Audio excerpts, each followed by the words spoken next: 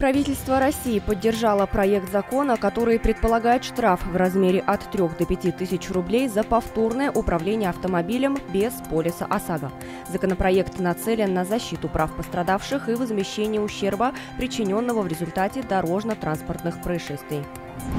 Школы и другие учебные заведения испытывают дефицит преподавателей математики и естественно-научных дисциплин, сказал зампред Совбеза Российской Федерации Дмитрий Медведев на заседании Совета по науке и образованию. Помимо этого, по его словам, сокращается и число выпускников, которые обладают глубокими знаниями в этих сферах. Для улучшения ситуации, по мнению Медведева, необходимо подключение всех профильных ведомств.